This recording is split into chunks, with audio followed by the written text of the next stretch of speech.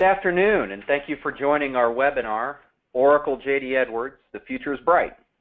My name is Steve, and I'll be your host today. We've got a great agenda planned for you, covering everything from what's new with JD Edwards, showing the updated product roadmap, learning about the commitment in JD Edwards from Oracle, seeing a live demo of the latest features, and discussing how to plan for your JD Edwards upgrade. I'm very happy to be joined by two great presenters today. Uh, first, Dan Barford is the Vice President of Project Delivery at Terillium. Dan will be showing the latest JD Edwards features as well as discussing how to plan for a JD Edwards upgrade. And Barry Campbell is the Alliance Director of a new group at Oracle focused on supporting JD Edwards customers and partners in on-premise applications. Barry will introduce us to this new group, and I believe it will be refreshing to hear from someone at Oracle who's excited for JD Edwards customers to continue to invest in and get the most value from their on-premise JD Edwards system.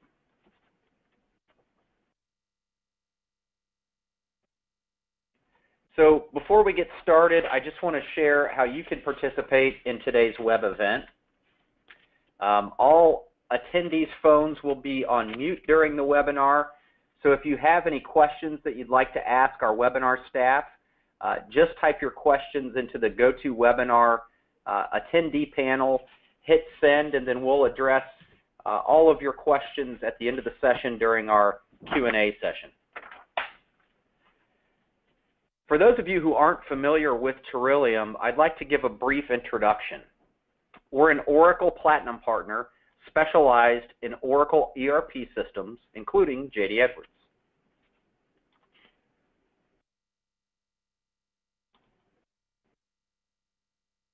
Bear with me one moment here.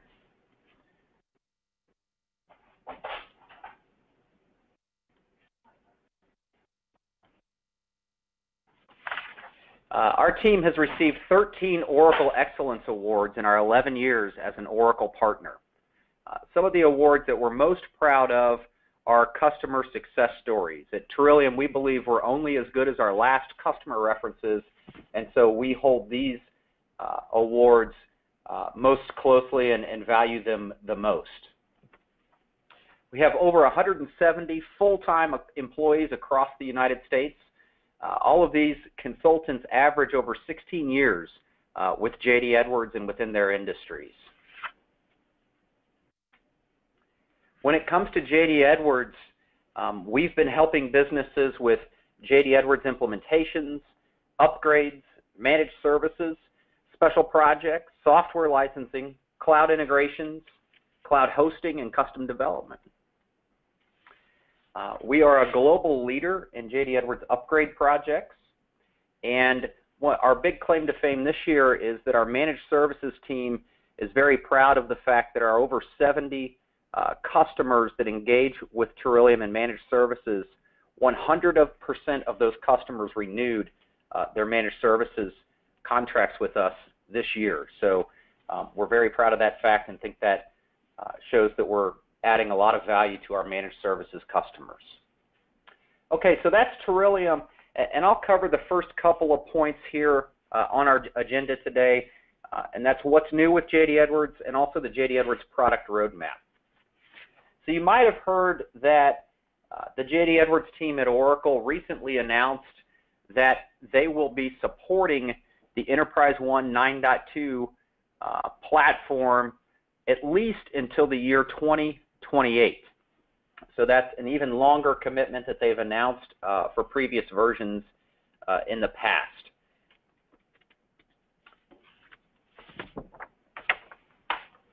This year, Oracle announced a new ongoing release model for the JD Edwards E1 product line.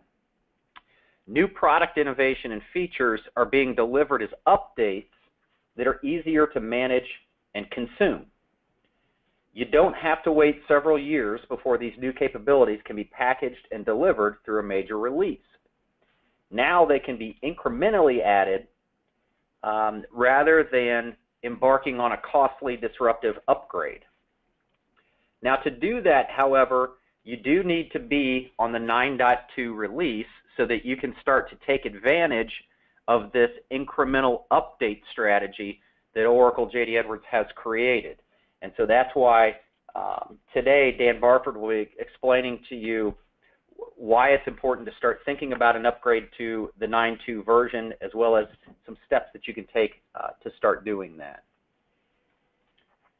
So let's take a look at the JD Edwards Enterprise product roadmap. Now this roadmap is published at My Oracle Support, but we'll go ahead and, and display it for you here today. This, if you've seen the product roadmap in the past, this may look a little bit different to you because instead of having 9.x releases, so instead of going 9.2, 9.3, 9.4, uh, as we're used to seeing, now we've got 9.2.2, 9.2.3, 9.2.4. So you can see these releases as opposed to having big major releases every three years. Now JD Edwards is working on incremental releases and incremental updates to the 9.2 version. Uh, similarly for World, the support for the latest World um, iteration uh, goes out to 2025. And the roadmap looks very similar now. Instead of major releases, again, there are minor releases being done uh, more frequently. And as long as you're on that A9.4 platform, you can start to take advantage of those incremental releases rather than um, saving up and, and, planning for major upgrades that in the past have been pretty costly and um, pretty disruptive to your business. Okay, features since 9.2. Um, all of these features are uh, documented on the product catalog on learnjde.com, uh, but we'll go ahead and, and review uh, some of these now. So you can see since 9.2 came out that there have been several uh, enhancements. First, in February, things like uh, the Internet of Things Studio, the Page Composer that let end users build their own E1 pages.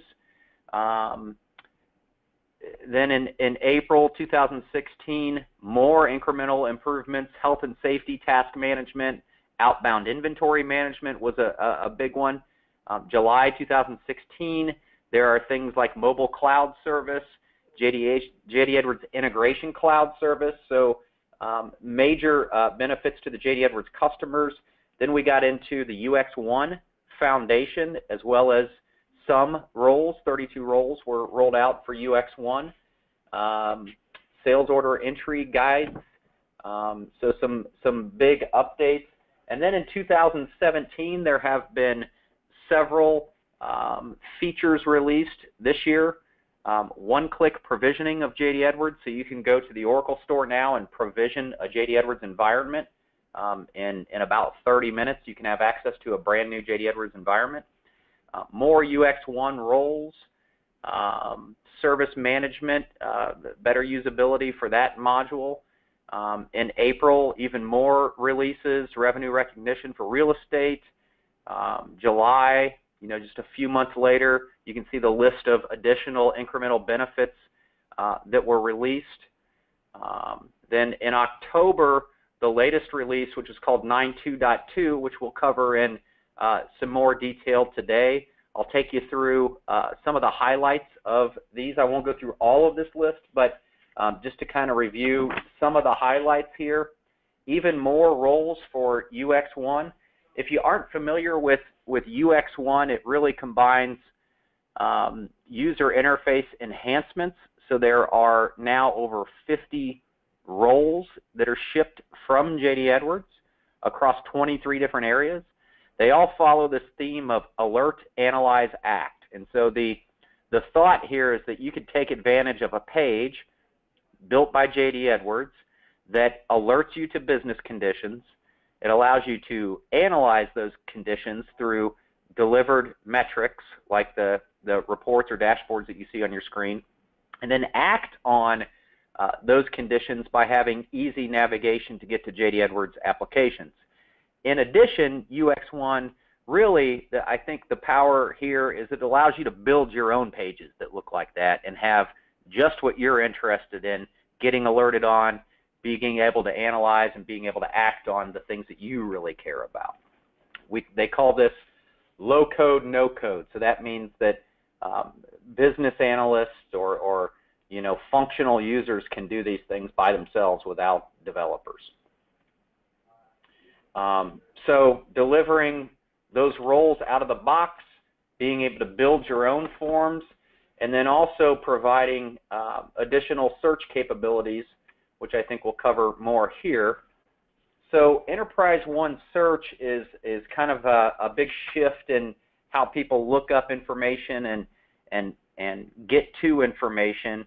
It's really the preferred way that users interact with any software system today, from navigation to retrieval uh, of data to performing actions. This is a keyword-driven enterprise-wide search on transactional data, and it's delivered as an E1 page. Um, so you can take, you know, leverage the power of an E1 page to go out and find what you're looking for uh, within JD Edwards. Next, we have E1 Mobile, and we know that Oracle, uh, JD Edwards has released over 80 mobile apps there are several new uh, mobile apps that have been released. Um, and, and some of the biggest things with these apps are the fact that you can now scan barcodes with your JD Edwards app on your smartphone. And I think Dan Barford's going to uh, demonstrate that for us today. Um, as well as there are things like mobile watch lists on these apps, as well as location services. So you can see uh, what's around you. There in the example on the slide, we're looking at customers that are around us with location services on the app. So the apps are getting uh, uh, more mature and, and more usable as well, more functional. Next up, uh, it's, it's generally available now with the 9.2.2 uh, release is basket pricing for procurement. Uh, JD Edwards has had basket pricing for sales orders, but now they've taken that functionality and added it to procurement so that you can um, bundle products together in a basket on a purchase order and take advantage of discounts that your uh, suppliers uh, offer. Um, so that um, really helps you save costs in procurement, make sure that you're taking advantage of all the discounts that your suppliers uh, are offering. Next uh, is one that we're pretty excited about and one that we've been um, you know, waiting for, and, and, I know a lot of users have asked for, and that is uh, drag and drop functionality within manufacturing scheduling. Um, so this is called manufacturing production execution. It gives you a Gantt-style graphical display of all your work orders, your work order operations, um, where you see a out of capacity condition on the on the Gantt chart indicated by the red uh, colors there. You can drill into a work order and drag and drop it to a different date uh, or a different uh, work center in order to alleviate that out of capacity condition. Um, so drag and drop scheduling for manufacturing, I think, is is very big for our JD Edwards manufacturing customers. Um, you also get triggers when you have unexpected shortages. So, for example, if if an item went to a, a, a negative quantity, the system can trigger a cycle count to go see what's going on with that item. Um, you can get warning notifications when um, you've produced less than you expected to produce, even though you had all of the raw materials. You didn't make as many um, uh, finished goods as you expected to make. You can get warnings for those types of things. Um, so this is a, a very functional uh, new part of JD Edwards that's available now. And speaking of uh, notifications, um, JD Edwards now has, through its orchestrator, the ability to create new notifications. And by notifications, we mean getting a text message when something's happening in JD Edwards, whether or not you're logged in, uh, getting an email, or getting alerted within the application. You can specify when you get notified for what business scenario is happening within the software, um, and you can then publish those notifications, and people can subscribe to them. Um, so for more information on this, uh, my Oracle slide here says to go to learnjde.com, and that learnjde.com has a new user interface. So let's go check that out now. I think this is uh, uh, pretty impressive here. So as we go into learnjde.com, as I scroll down here, you'll see that there's some, some high-level areas that you can drill into from mobile to IoT to, to cloud. If we scroll down more, we've got new releases and initiatives. And if you click in there, you can kind of see what I was covering in the slides, what's come out you know, recently in October, all the way back to uh, 2016. It's a, a high-level listing of what's been released with JD Edwards. Additionally, if you go to additional resources and announcements, you can stay up to date with everything that JD Edwards is announcing. Um, and we can also go to what's new and see some detail about what they've announced. So here we've got stay informed and act fast with JD Edwards notifications. And I wanted to play this for you. It takes about three minutes. I think it's a really good overview of notifications.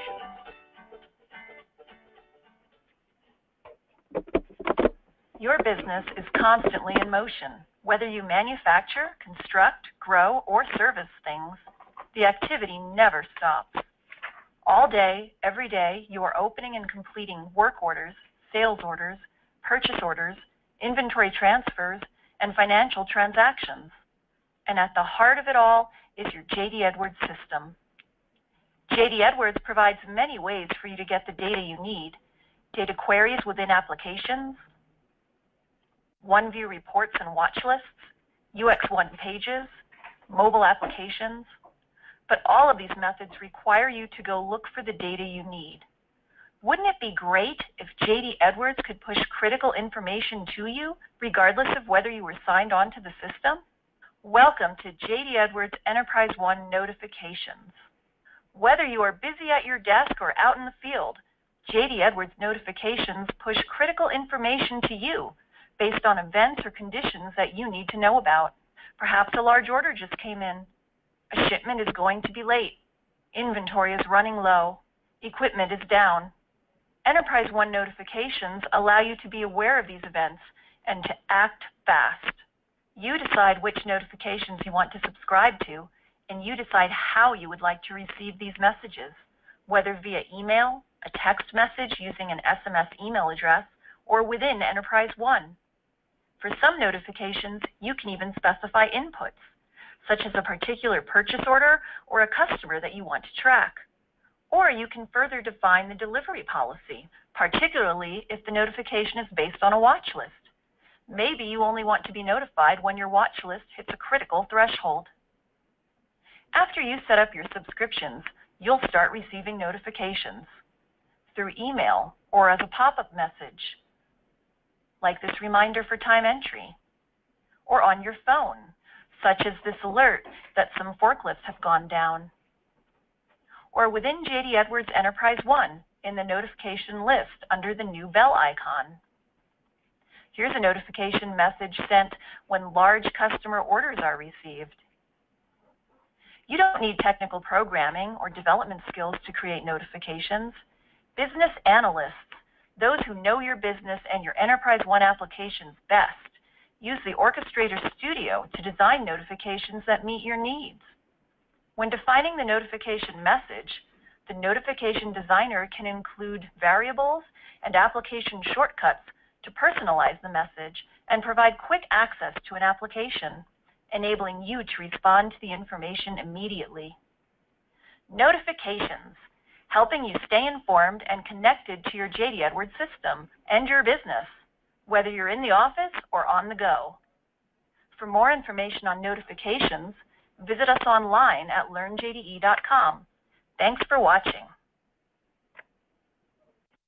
Okay, so thanks for watching that video. I, I think notifications through uh, the new orchestrator in JD Edwards uh, are really going to be huge for all of our JD Edwards customers you know, the, the scenario that they, they gave an example, you know, notify me anytime there's a big sales order entered in the system. So let's say your CEO wants to know anytime we, we close a deal over $100,000. So we could set up a notification as business people, as functional uh, users. You don't have to be a developer to do this.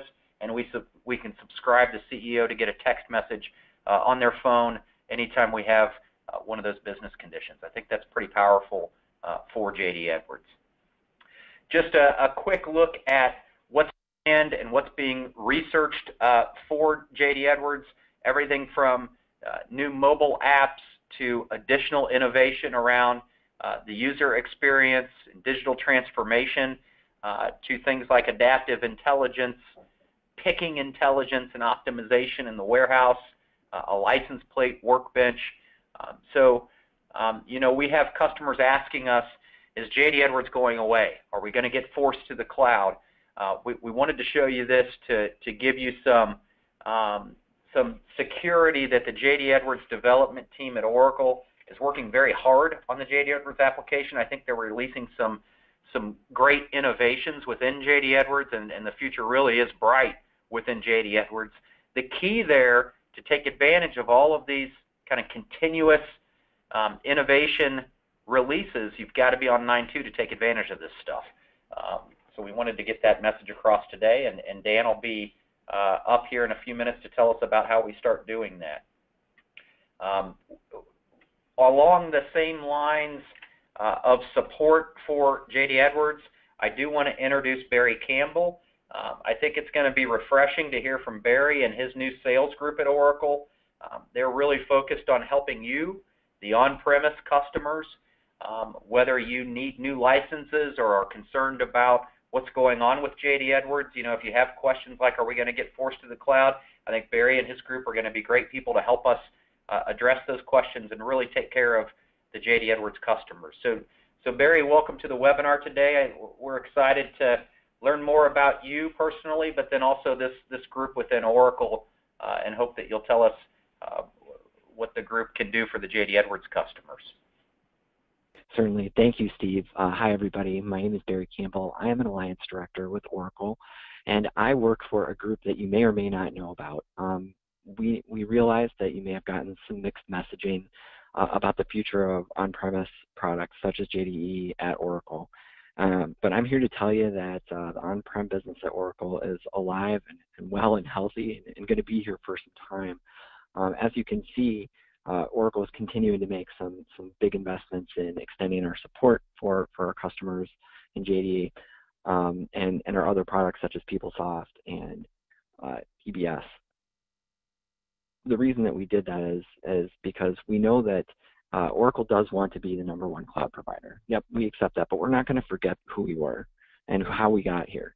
So we're not going to uh, leave the customers that have, gotten us all this way and invested so much of their time and energy into these great products that, that we continue to want to build.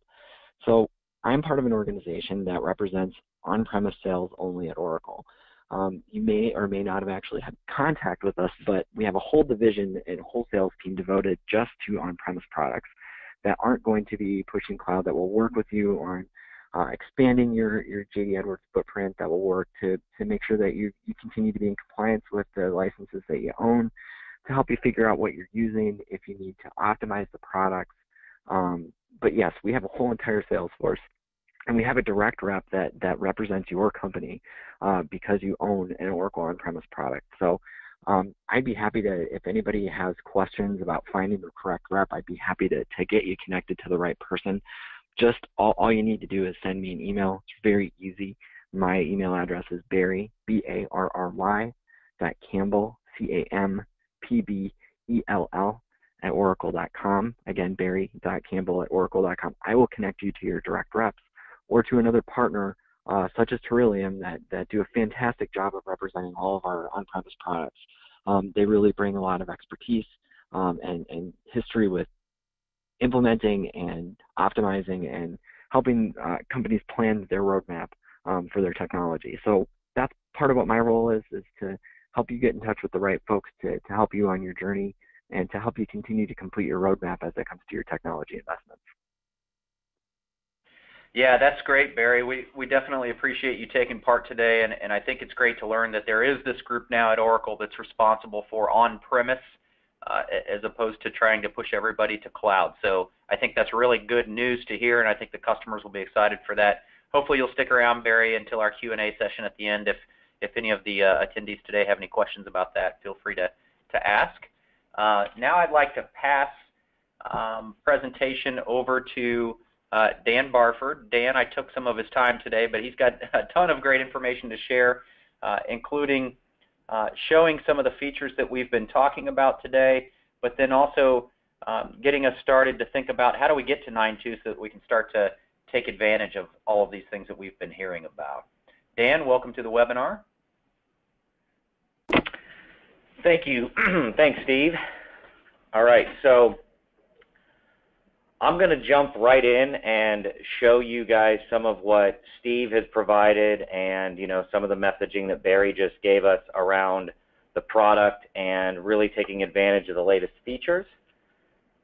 So if I switch over here, I'm going to log into an Enterprise One 9.2 instance and I think it's worth mentioning that this particular system that I'm on is a JDE in the cloud environment. Steve mentioned earlier the one-click provisioning that's available. Uh, that is one of the things that Terillium subscribes to so that we have access to the latest tools release available. And as you can see here when I'm getting logged in, you know, if you haven't seen the user interface for 9.2, it is somewhat different from old, certainly older versions of Enterprise One. Uh, the closer you are to the 9.2 release, the more familiar things will look. And as I logged in here, I was um, taken to this page called Team Customers, which is one of those role-based landing pages that's provided as part of the UX1 feature. And uh, as Steve jumped into that Learn JDE website, I'm just going to quickly switch over here to the My Oracle support. And there is a document ID out there, and, and we can provide this as a follow-up. But 2227250.1 is the doc ID you want to search on. And that page will take you right into all of those UX1 role-based landing pages.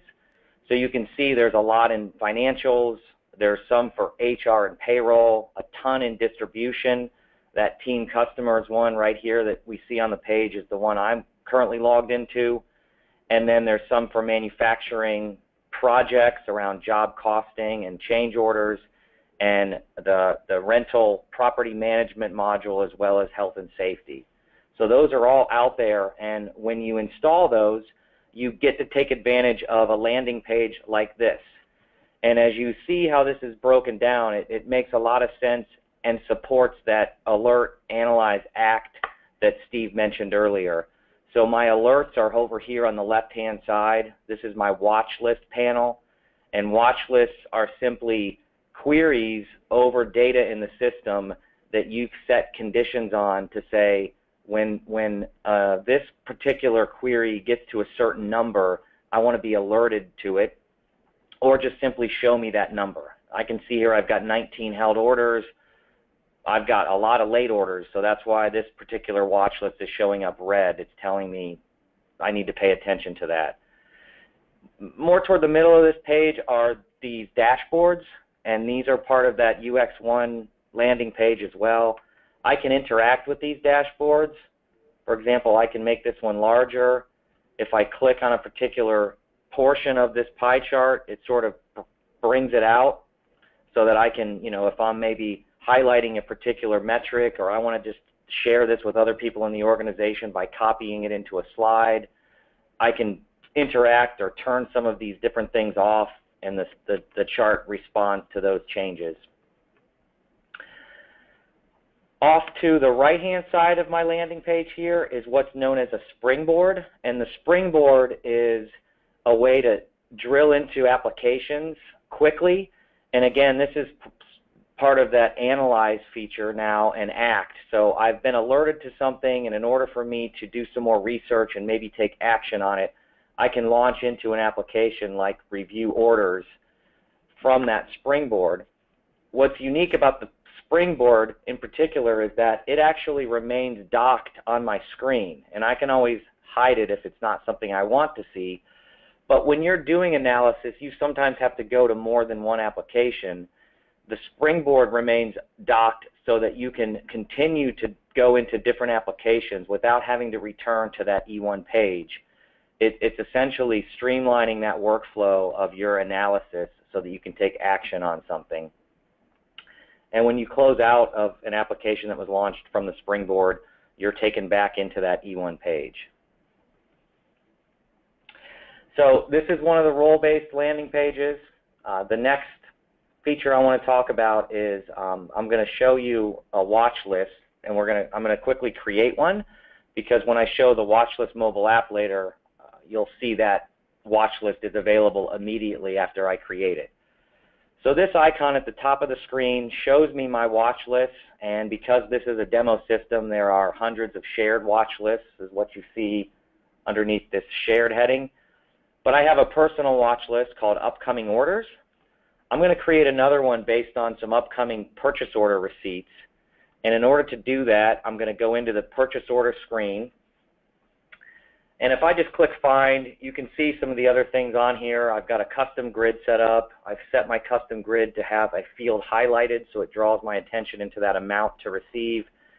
And uh, over here I have a query called upcoming inbound receipts. I want my warehouse to be prepared for orders that are potentially going to be delivered. So I've selected that query and now you can see I have nine records that are available within that the criteria.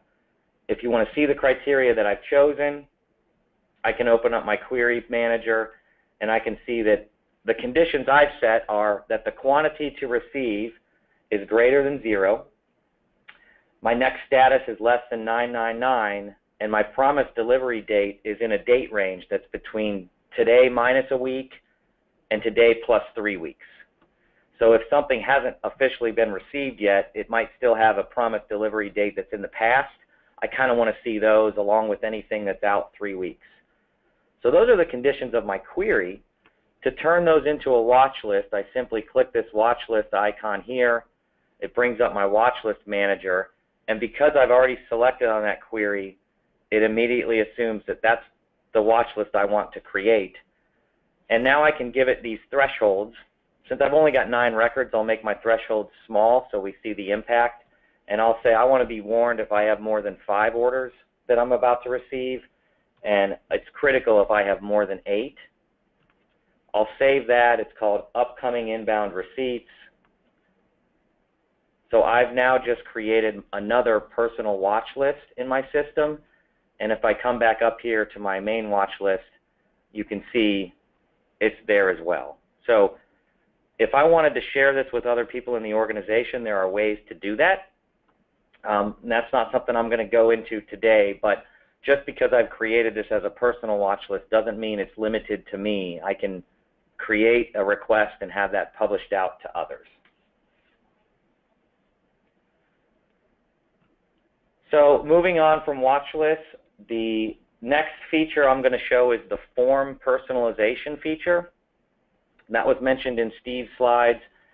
To do that, I'm going to click on an E1 page I have called PDM, or Product Data Management. And this is a classic E1 page. If you're running a version of, of Enterprise One that's, that's recent, you might have set up a lot of these using the old E1 page generator. Those are still completely applicable and can still be leveraged in the system. And I'm going to go into the item master and just drill into an item so now I'm on this item master revision screen, which has a lot of tabs and a lot of fields. I'm going to show you how to personalize this without any programming. And it starts with me clicking this form personalization button here. That converts my form into like an edit mode, similar to creating a custom grid. And if I just give myself a little bit of extra room down here, what I'm going to do is go into this additional info tab and take this whole section of fields because I, I do want these and I'm going to put them on that first tab. The rest of the information on this tab I really don't care about, so I'm going to go ahead and hide that. And on the lot processing tab, I don't need anything there. I'm going to hide that whole tab. Weights and measures I'll leave alone, but I, I'm okay with it being on another tab. So now I'm focused back onto my first tab called Basic Item Data. I'm just going to drag these fields up and drop them in there. Click Save. I'm going to call this Item Simple Form and save that. And as soon as I close my personal form manager panel, all those edit icons are going to go away and I now have this personalized form and you can see here I've got a new drop down that's available that lets me switch back and forth. If I choose no personalization, I get switched back to the standard item master revisions layout. If I choose my personal form, it switches me back to that. And there's a lot more capabilities within the personal form designer that you can do. You can rename fields. You can make fields required that aren't required out of the box. And then deploy those to different departments so that as people work within these forms, you get better information created at the time it's needed versus people forgetting to fill in information on specific fields or category codes or, or whatever. You can bring all those onto a single form, narrow down what they actually have to fill in, and have that be their method of entry. Again, this required no programming, no package builds. You know, you don't have to be a developer in order to get this done. And not everyone has access to it either. That's a decision the business will make on who to provide the ability to create personal forms. I'm going to exit out of the item master and then really quick talk about the search capabilities within Enterprise One. So there's two ways you can search now. The first is within the FastPath field. So anytime you um, interact, and, and a lot of business users may not have access to FastPath, but for people who support the business or who are in IT, they may need to quickly locate something in the system.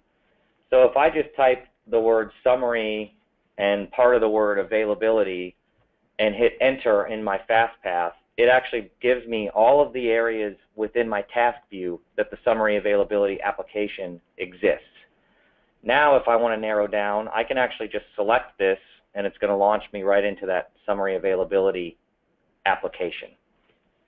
I can even get to full menus. So if I type, for example, inventory management, the first result is the G41 menu for inventory management. When I select that, it actually takes everything off of my navigator and just leaves me with that inventory management menu, which I can then drill into and get all the way into that item master screen again if I wanted to.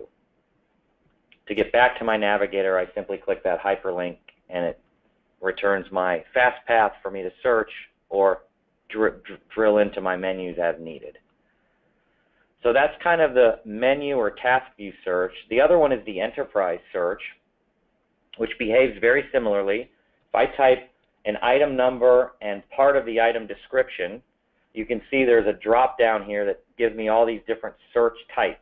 I'll just click the item use and I get results that were built for an item search. And in this particular results, I don't have any supplier items that match those criteria, assets or equipment that match that criteria, but I do have quite a few item master records. This first one here is the one I was actually looking for. I have additional actions I can take from here. I can click on this information button and it brings me up another window where I now have the ability to see are there any unshipped sales orders that contain the item I just searched for? How about open purchase orders or does this item exist on any bill of materials?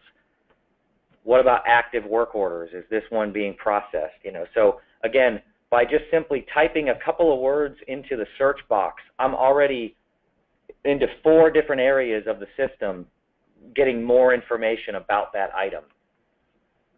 And this is all configurable. So the fields that you're seeing from this work order parts list was a decision made by us to include those fields.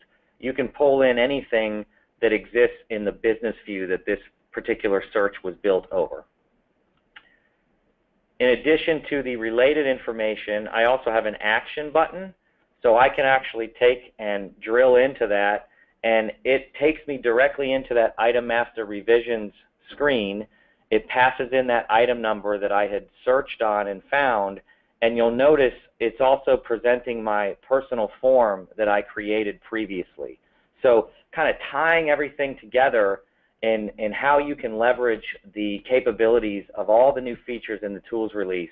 You know, by the time you create custom grids and then build queries over those grids and convert those to watch lists and couple those with a personal form and then let users locate all of those things by notifications and watch lists and search results really makes their ability to navigate through the system much, much easier. So the last thing I want to demo is with regards to mobile apps. So if I switch over here, I'm going to share my iPhone. And as Steve mentioned, there's over 80 mobile apps available. And if you're licensed for the module, then the mobile app is yours free of charge. So, and it's really easy to get started once you have your AIS server up and running. There's a URL that you can publish so that you can set up the mobile app. I already have that information plugged in and set up, but I'm going to launch the watch list app and I'm going to be able to show you how that watch list I created for the upcoming receipts is going to be front and center. So I've launched this app and there's the two personal watch lists that I had out there. The upcoming orders was already created. That upcoming inbound receipts I had created earlier. And then of course there's all the shared watch lists that I have access to. This app currently doesn't have any actionable functionality other than your ability to refresh the watch list. So I can't click on it and be taken into the app itself, but you know, it's got a tab for critical watch lists. So if I choose to go just to that, then I might be monitoring something and I can just continue to open up this app and refresh to see if that critical alert has been resolved. Another really cool app is the Inventory Availability app. So again, I'm just going to quickly log in.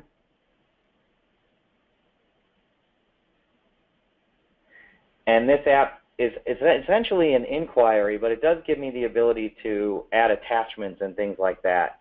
So if I just do a search over the data, you see the famous red mountain bike that's in the demo data.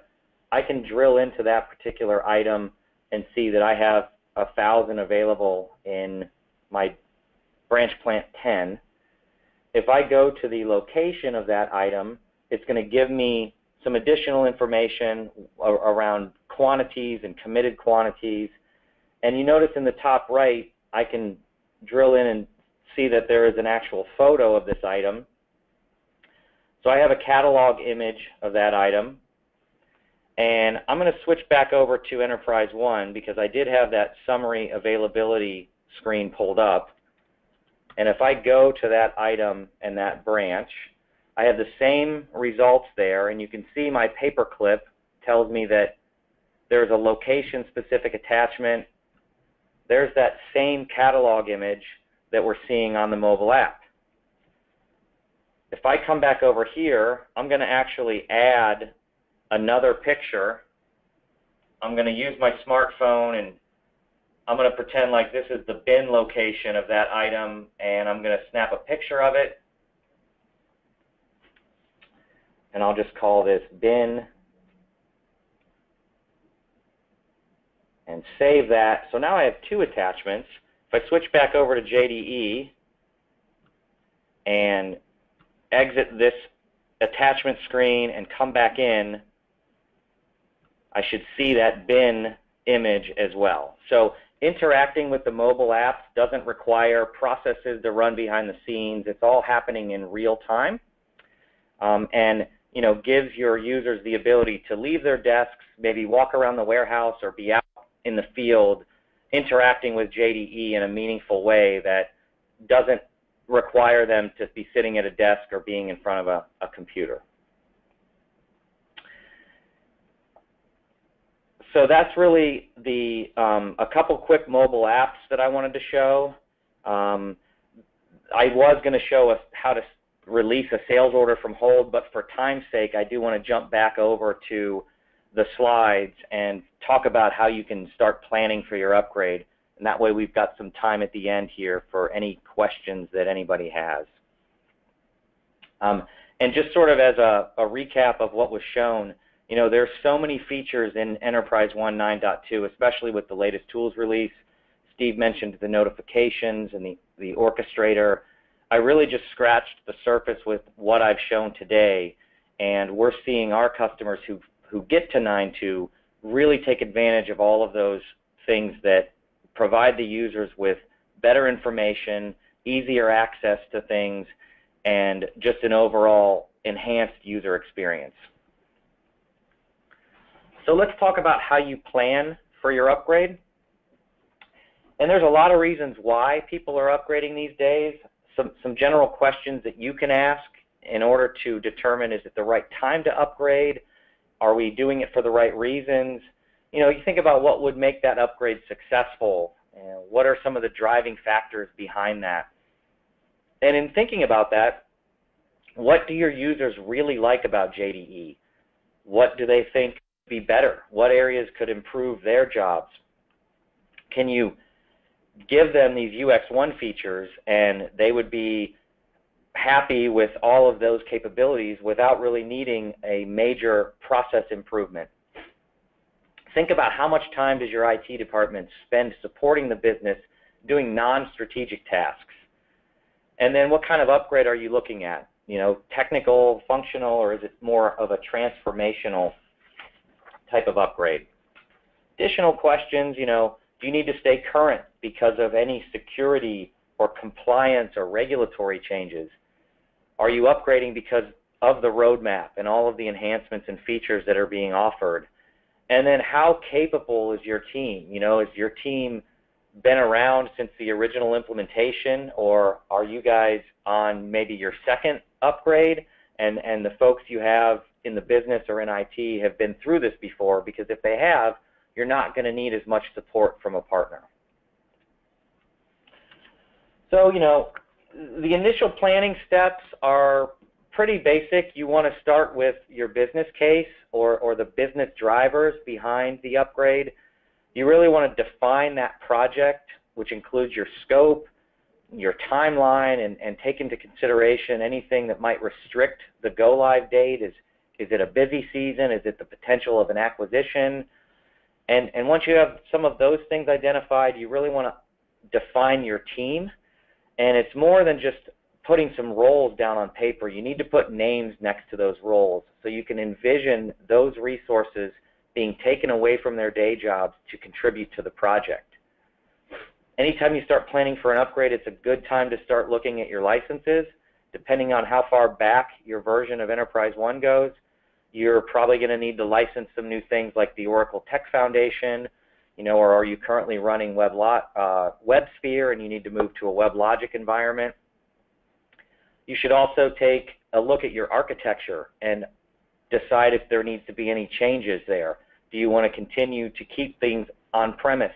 Are you going to go for a platform change? Maybe you're running on the iSeries and you want to move to a Linux Oracle arrangement, or you're on Windows and SQL and you want to move to Oracle Linux.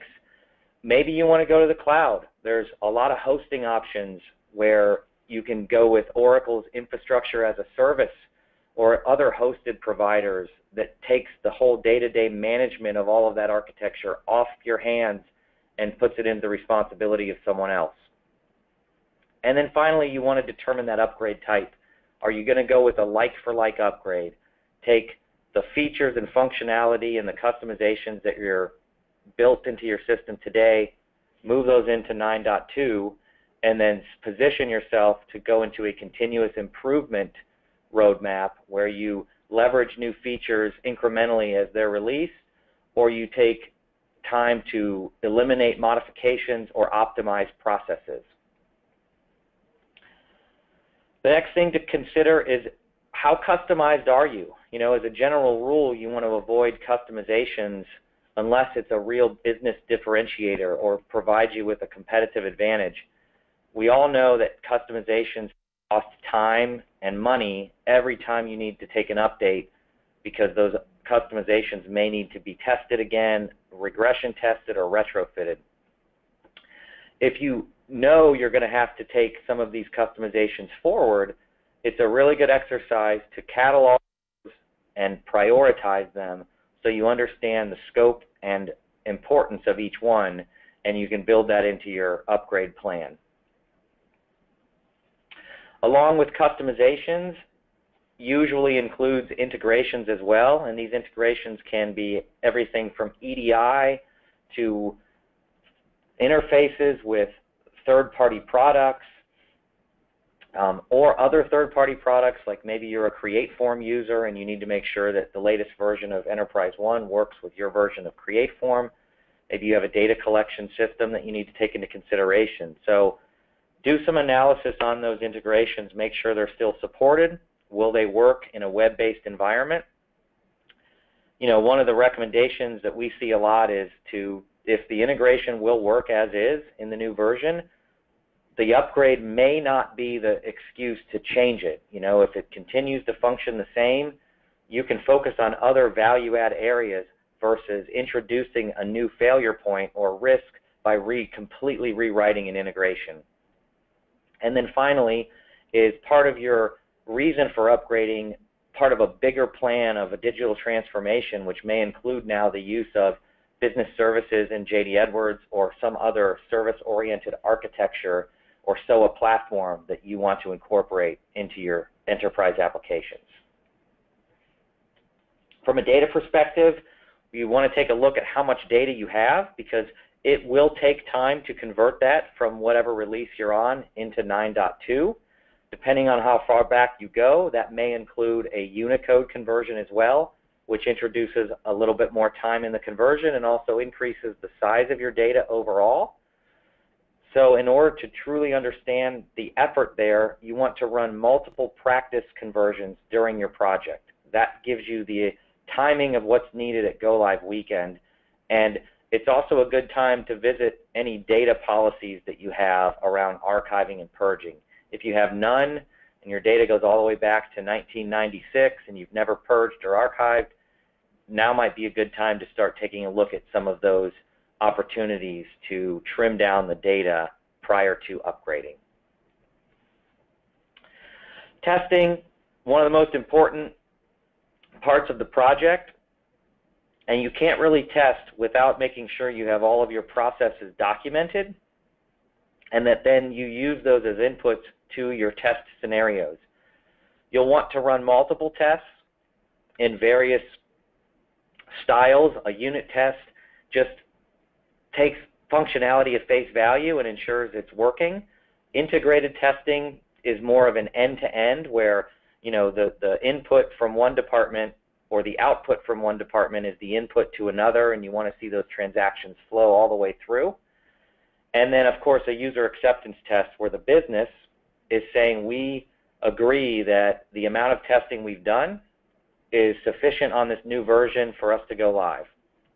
And I also recommend putting someone in charge of a testing audit, which means, you know, just not just the project team coming up with scenarios and processes that they need to test, but someone from an outside view, maybe it's someone from a management or an executive position, just double checks the scenarios and the processes that are being tested and provides some feedback to make sure nothing was missed. And then, of course, you can't go live without training and making sure you answer these five questions around who needs to be trained, what topics do they need to be trained on, where are these resources located? Therefore, how will we train them? And when does it make sense to conduct that training? If you do it too early, they may forget unless they remain involved in the new version until the go live. If you do it too late, you run the risk of running out of time. So working with your partner to really position the training at the right time within the project plan makes the most sense. And we've seen a lot of success in training for upgrades focus mostly on the navigation and the new UX1 features. And that can be conducted several times because it's probably a two or three hour training at most.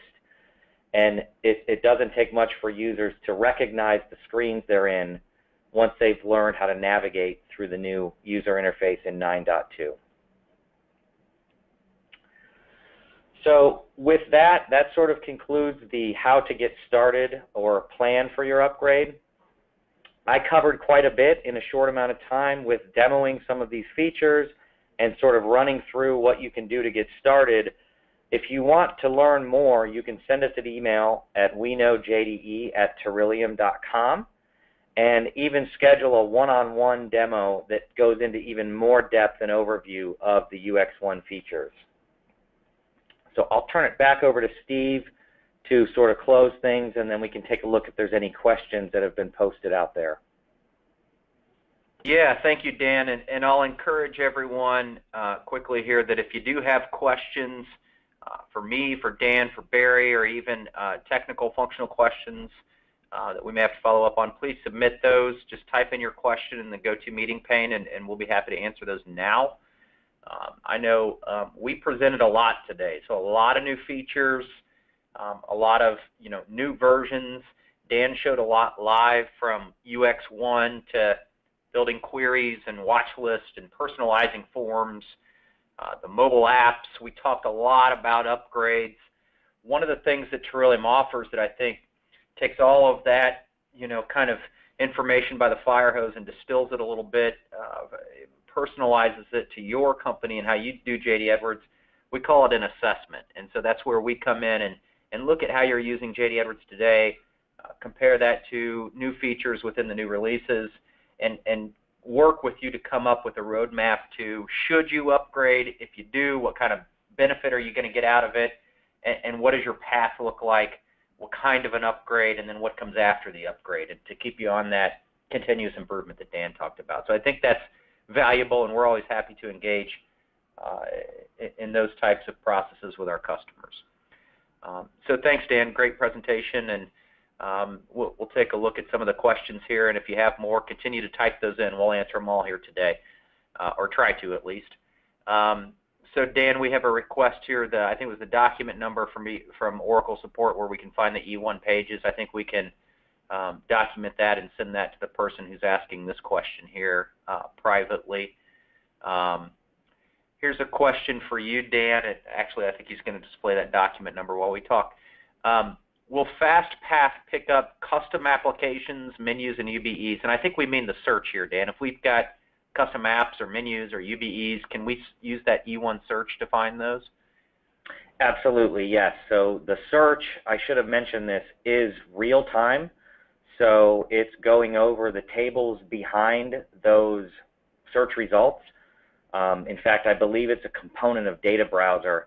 And so if you have a custom menu, a custom application, uh, it will locate those. And, and what's nice about the search is you don't need to know the description. You can actually type P55 4 and hit enter and if, if it doesn't find an exact match it will present you the results of every application that contains those particular characters. Okay, thank you.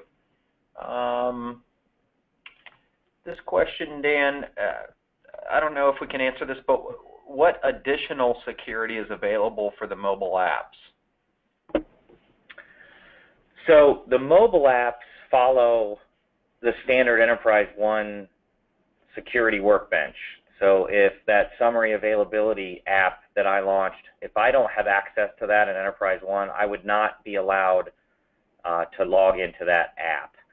And then it's also controlled on, um, you know, the, there's a URL behind the AIS server that is the access point for uh, those mobile apps. So it, it, it, does add a little extra control around um, how you can distribute and, and deploy those apps. As okay, far as any any additional security, I'm not I'm not aware of.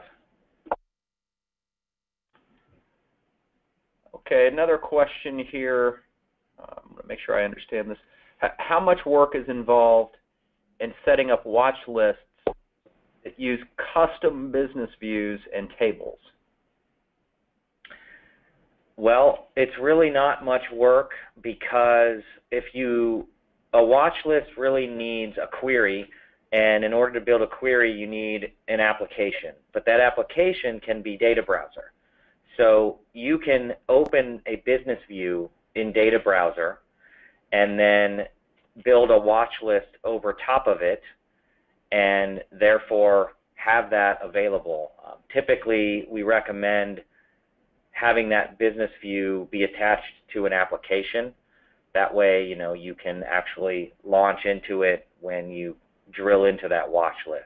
But watch lists work over custom tables, custom business views, and custom applications. Yeah, good point. And and then you know the the metrics and charts that we saw are really OneView components, which also work over uh, custom business views. And so you can open up a custom business view in Data Browser and write either a query, a watch list, or a OneView report over it, right? So if you don't want to build an application, you can do all of those things in Data Browser. And of course, if you did build a custom application over a custom business view, you can do all those things as well. Um, yeah, the, the recorded version of this webinar uh, will be published shortly, uh, and um, we'll, we'll send it to the person who asked. But for anybody who wants to see a recorded version of this webinar, it's the same place where you registered to get this to get to this webinar. Um, if you go back there tomorrow and re-register, it'll start playing the recorded version. Um, so Dan, follow-up question to the security to the mobile apps. Can we have two-factor authentication for mobile apps? I, I don't, I'm not 100% sure. I don't believe it supports two-factor authentication or the Touch ID capability, but I believe those are on some planned roadmap from Oracle. So that you noticed how I had to physically log in. I didn't have an option to use Touch ID on my iPhone to launch that app, and and no two-factor authentication that I'm aware of. Okay, yeah. So not available uh, now, but that's on the one of the uh, roadmaps that JD Edwards is looking into that. Okay, that looks like the uh, extent of the questions that we had. So Dan, I want to thank you for your uh, presentation on upgrades as well as the live demo of the features. And Barry, thank you very much for joining us. It's, I think it's great to know that your organization exists and there are people at Oracle focused on on-premise customers and on-premise licenses. I think our customers are uh, probably surprised and excited to know that, uh, that that organization exists. And I want to thank all of the attendees for your time today. I hope that you found this valuable. If you do have any further questions, please just let us know and we'd be happy to, to answer anything that we can. So thank you everyone. Have a good afternoon.